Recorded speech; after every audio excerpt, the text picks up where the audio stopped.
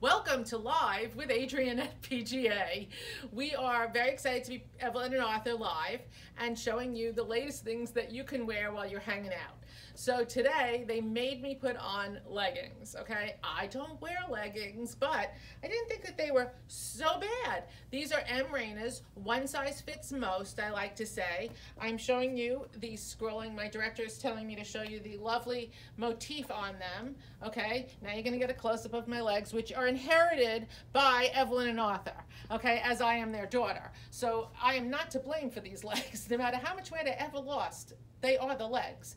So, and my children will blame me as well. So now um, we have great Mod o Doc tee, so easy, great cotton, fabulous, comes in a multitude of colors. And as you can see, it covers the parts you want it to cover. And we do call this the situation, okay? And it's covering that as well. And then I have on a great necklace. Please don't look at my nails as they are not done anymore. And the necklace is so great because you can just take it and make it if I can get this, any length you want. You can shorten it, okay, or you just pull the strings and it lengthens. So there's no excuse for not buying this necklace.